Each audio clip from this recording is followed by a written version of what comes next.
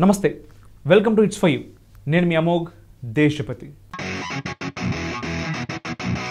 నటరాజస్వామి విగ్రహం సేన్ ఇన్స్టిట్యూట్ ఎదురుగా ఉండుడైంది. శివుడి విగ్రహం సేన్ ఇన్స్టిట్యూట్ ఎదురుగా ఏం చేస్తుంది? ఫిజిక్స్ చెప్పే ఒక ముఖ్యమైన విషయం ఇతర మతాల్లో చెప్పే ఒక విషయం సృష్టికర్తను విశ్వసించు సృష్టిని కాదు. కానీ హిందూ ధర్మం చెప్పే ఒక మాట సృష్టిని ప్రేమించు పూజించు. సైన్స్ చెప్తుంది ప్రతి పదార్థానికి చలనం ఉంటుందని. అదే ప్రాణం ఉంటుంది అని. అందుకే మనం ప్రాణాన్ని ప్రాణశక్తి అని అంటాం. బ్రహ్మ విష్ణు మహేశ్వరులను మనం సృష్టి యొక్క స్థితి లయకారులుగా చెప్తాం. లయకారుడు మహేశ్వరుడు చెప్పే విషయం ఈ లోకంలో దేనికి ఎండ్ పార్ట్ ఉండదు. ఎండింగ్ ఉన్న ప్రతిదానికి తిరిగి స్టార్టింగ్ పాయింట్ ఉంటుంది. అదే సైన్స్ చెప్తుంది కూడా. పదార్థం నశించబడదు. ఒక రూపం నుంచి వేరొక రూపంలోకి మారుతుంది అని. చాలామంది భావిస్తున్నట్టుగా హిందుత్వం అనేది ఒక మతం కాదన్నది నా అభిప్రాయం. హిందుత్వం ఈ దేశంలో తరతరాలుగా వారసత్వంగా వస్తున్న ఒక మేధో సంస్కృతి. ఓ అలవాటు. విజ్ఞానం హిందుత్వం ఎప్పుడూ ఒకదానితో ఒకటి కలిసి ఉండే అంశాలు. చాలామంది విదేశీ సైంటిస్టులు కనుక్కోవాలని ప్రయత్నిస్తున్నా కనుక్కున్నామని చెప్పుకుంటున్న ఎన్నో విషయాలు భారతదేశం మేధో చరిత్రలో ఎప్పుడూ బహిర్గతమైన అంశాలు. ఋషులు మునులుగా చెప్పబడే మన పూర్వీకులు సృష్టి రహస్యాలను ఎన్నెన్నో అద్భుతమైన విషయాలను వేదాలు వేదాంగాలుగా క్రోడీకరించి గ్రంథస్థం చేశారు. వాటినే పురాణాలుగా పేదరాశి పెద్దమ్మ కథలంత తేలిగ్గా అర్థమయ్యేటట్టు మన పెద్దలు మనకు విడమర్చి చెప్పారు. అన్నింటిలో కంటే నాకు ఎక్కువగా నచ్చింది శివుడికి సంబంధించిన కొన్ని కథలు. సృష్టి రహస్యాలను శివుడు తనలో ఇముడ్చుకున్నాడా అన్నంత ఆశ్చర్యం వేస్తుంది వాటిని వింటుంటే. సృష్టి లయకారుడిగా శివుడిపై నాకున్న విశ్వాసం ప్రతి సందర్భంలోనూ రెట్టింపైనట్టు అనిపిస్తుంది నా విశ్వాసం నిజమని చెప్పడానికి నా దగ్గర ఎన్నో ఉదాహరణలు కూడా ఉన్నాయి. వాటిలో ఒక అద్భుతమైన సంఘటన ఇప్పుడు నేను మీతో పంచుకోవాలనుకుంటున్నా. స్విట్జర్లాండ్లోని సెన్ న్యూక్లియర్ పరిశోధనశాల గురించి ఒక నమ్మలేని విషయం. సృష్టి రహస్యాలను ఛేదించేందుకు పరమాణు పరిశోధనలు నిర్వహించే సెన్ పరిశోధనశాల ఆవరణలో నట్రాయస్వామి విగ్రహం. హిగ్స్ బోసాన్ అణువులపై చేపట్టిన ఓ ప్రయోగంలో కొంతమంది భారతీయ మేధావులు కూడా పాలుపంచుకున్నారు. వాళ్ళే నటరాజస్వామి విగ్రహాన్ని సేన్ ప్రయోగశాలకు బహుకరించారు. ఆ విగ్రహమే సేన్ ఆవరణలో కొలువుదీరుంది ఆ విగ్రహం అక్కడికి రావడానికి అంటే ఆ శాస్త్రవేత్తలు ఆ విగ్రహాన్ని సేన్ ఆవరణలో ఉంచడానికి వెనుక ఒక విషయం మనం మాట్లాడుకుందాం. సృష్టి రహస్యాలను ఛేదించేందుకు నిత్యం ప్రయోగాలు జరిపే అత్యంత పెద్దదైన అంతర్జాతీయ పరిశోధనశాల సేన్ కొత్తగా ప్రతిపాదించబడిన హిగ్స్ బోసన్ అనే కణంపైన పరిశోధనలు చేయడం అప్పుడే ప్రారంభమైంది. దీన్నే శాస్త్రవేత్తలు దైవ కణం అని కూడా పిలుస్తారు. సృష్టి జరగడానికి కారణం ఈ కణమే అనేది శాస్త్రవేత్తల ప్రతిపాదన. ఈ కణం ఉనికిని కనిపెట్టి అది సృష్టికి ఎలా కారణమవుతుందో తెలుసుకోవడం సేన్ సరికొత్త పరిశోధన ఉద్దేశం.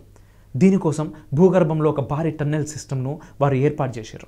అత్యంత వేగంగా ప్రయాణించే రెండు పరమాణువులు ఢీకోవటం వల్ల పదార్థం అనేది ఉద్భవిస్తుందని అదే సృష్టి అని అప్పుడే హిగ్స్ బోసాన్ కణాలు ఉద్భవిస్తాయనేది శాస్త్రవేత్తల ప్రతిపాదన. దీన్ని రుజువు చేయడానికి భూగర్భంలో భారీ టన్నెల్ సిస్టంలో ప్రయోగం చేయబోతున్నారు.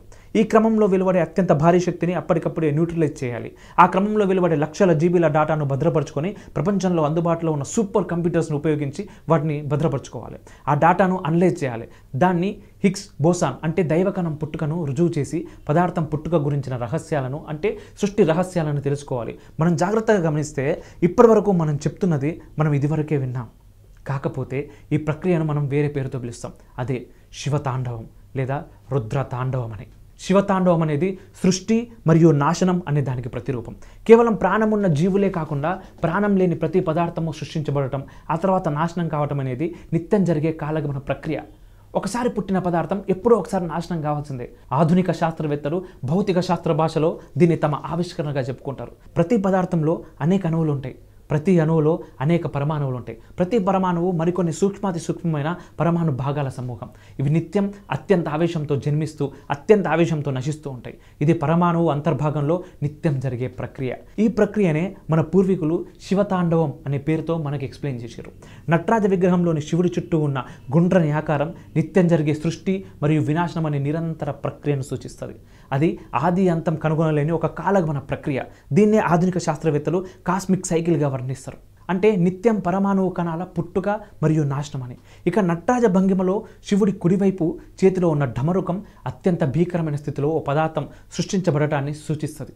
దీన్నే ఆధునిక శాస్త్రవేత్తలు కాస్మిక్ క్రియేషన్ అని పిలుస్తారు. ఇక అభయముద్రలో ఉన్న శివుడి మరో చేయి విధి లేదా కాలాన్ని సూచిస్తుంది. ఈ ప్రక్రియను ప్రపంచంలోనే ఒక్కో ధర్మం ఒక్కో మతం వారి వారి అభిప్రాయాలకు అనుగుణంగా చెప్పుకుంటారు. ఇక ఎడమ చేతిలోని జ్వాల సృష్టి యొక్క వినాశనానికి ప్రతిరూపకంగా చెప్తారు. దీన్నే ఆధునిక శాస్త్రవేత్తలు కాస్మిక్ డిస్ట్రక్షన్గా వర్ణిస్తారు. శివుడి ఈ రెండు చేతులు ఒకే స్థాయిలో ఉండటమే సృష్టి మరియు వినాశనం సమాంతరంగా సమానంగా సమన్వయంతో జరుగుతాయని చెప్పడానికి ప్రతీక. పైకెత్తిన శివుడి ఎడమకాలను చూపించే శివుడి ఎడమ చేయి నిరంతరం జరిగే సృష్టి మరియు వినాశనం అనే మాయాజాలం నుంచి విముక్తిని సూచిస్తుందని మన నమ్మకం. నటరాజు మరో కాలు కింద ఒక రాక్షసుడు కనిపిస్తారు ఆ రాక్షసుడు మనిషిలోని అజ్ఞానానికి నిదర్శనమని ఆ అజ్ఞానాన్ని నచింపజేసినప్పుడే మిగిలిన అన్నింటినీ అర్థం చేసుకోవడానికి మార్గాన్ని మనిషి కనుక్కోగలనే దాన్ని సూచిస్తుంది. ప్రస్తుతం మన ఆధునిక ప్రపంచమంతా దీని గురించే ఆరాటపడుతున్నది. అంటే సృష్టికి మూల కారణం ఏమిటి? సృష్టి ఎక్కడ మొదలైంది? సృష్టి క్రమం ఏమిటి అనే దానికి కనిపెట్టేందుకే నిత్యం శాస్త్రవేత్తలు ప్రయత్నిస్తున్నారు. ఇందులో భాగంగానే పైన మనం చెప్పుకున్న హిగ్స్ బోసాన్ అంటే దైవకణం యొక్క ఉనికిని కనుక్కోవడం. నట్రాజస్వామి శివతాండవంలో ఆనంద తాండవం అనేది సృష్టి జరగడాన్ని సూచిస్తే రుద్ర తాండవం అనేది సృష్టి వినాశనాన్ని సూచిస్తుంది. శివుడి మూడో కన్ను ప్రళయానికి మనిషిలో అంతర్లీనంగా నిద్రాణమై ఉన్న జ్ఞానానికి నిదర్శనం. ఇలా నట్రాయస్వామి ఆకారంలో సమస్తాన్ని మనం గమనించవచ్చు. దీన్నే నేటి శాస్త్రవేత్తలు పరమాణువుల్లో గమనించారు. నిత్యం పుడుతూ నశించే పరమాణు భాగాల ప్రక్రియను కాస్మిక్ క్రియేషన్ కాస్మిక్ డిస్ట్రాక్షన్ అని ఈ ప్రక్రియను కాస్మిక్ డ్యాన్స్గా వర్ణించారు. అదే మనం చెప్పుకుంటున్న శివ తాండవం ప్రఖ్యాత భౌతిక శాస్త్రవేత్త ఫ్రిడ్జ్ ఆఫ్ కాప్రా తాను రాసిన పరిశోధన పత్రాల్లో పరమాణు ఉపకణాలు లేదా పరమాణు భాగాలు చేసే తాడనాలను శివతాండవంతో పోల్చిండు. అతడు రాసిన ది తావో ఆఫ్ ఫిజిక్స్ అనే బుక్లో ఈ పోలిక వెనుక ఉన్న అసలు విషయాన్ని వివరించిండు. అదే ఇప్పటివరకు మనం మాట్లాడుకున్న పరమాణు ఉపభాగాల పుట్టిక మరియు నాశనం.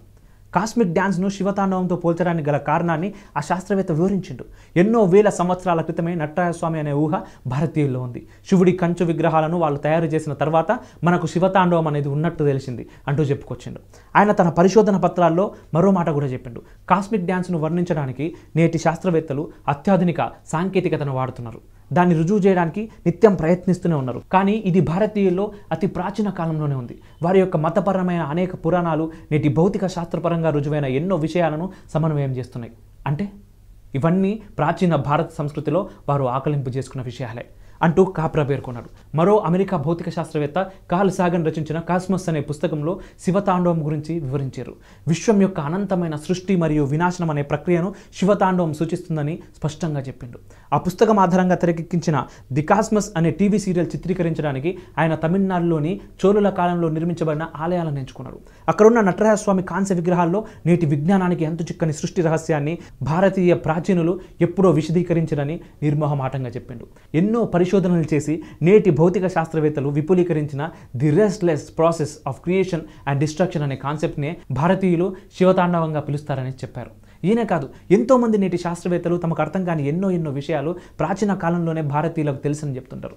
మన వేదాల్లో నేటి సైన్స్ ఊహకు కూడా అందని ఎన్నో విషయాలు పొందుపరుచి ఉన్నాయనేది వారి నమ్మకం. సృష్టికి మూల కారణం బిగ్ బ్యాంగ్ థియరీ అనే ప్రతిపాదన నుంచి ఇసేన్ దైవకణం ఉనికిని కనుగొనాలన్న పరిశోధన దాకా మనిషి ఆశ ఒక్కటే సృష్టి ఎక్కడ మొదలైంది? సృష్టి జరగడానికి కారణం ఏంటి ఈ సృష్టి రహస్యాలను తెలుసుకునే క్రమంలో ఎన్నో పరిశోధనలు చేస్తున్నారు. కానీ చివరికి వాటి ముగింపు మాత్రం భారతీయ ప్రాచీనులు చెప్పిన విషయాల దగ్గరే ఉంటుందనేది కాదనలేని వాస్తవం.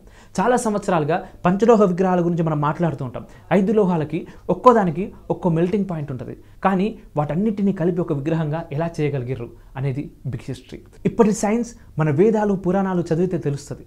అవి మనం చదవకుండా చేసే ప్రయత్నం కొన్ని దశాబ్దాలుగా జరుగుతూనే ఉంది. ఇవన్నీ చెప్తే కోడిగుడ్డు మీద ఈకలు బీకినట్టు దానికి దీనికి సంబంధం ఏందని అని మాట్లాడే హేతువాదులు మనలో చాలామంది ఉంటారు. అసలు సైన్స్ అంటేనే కొత్త విషయాన్ని విజ్ఞానానికి సంబంధించి తెలియని విషయాన్ని తెలుసుకునే ప్రయత్నం చేయడం. ఇలా ఉందేమో అనే ఆలోచన రావటమే సైన్స్లో మొదటి అడుగు ఇది ఒట్టిదే అని మాట్లాడితే వాడు సైన్స్ని కూడా నమ్మటం లేదనేదే దాని అర్థం. ఈ విషయాలు ఇప్పటి మన తరానికి తెలియాలి. సనాతన ధర్మం గొప్పతనం మన ముందు తరాల వాళ్ళకి దూరం చేసే ప్రయత్నాలు జరుగుతున్నాయి. అవి జరగకుండా ఆపాలి. ఈ వీడియో మీకు నచ్చితే లైక్ చేయండి కామెంట్ చేయండి షేర్ చేయడం మాత్రం అస్సలు మర్చిపోకండి.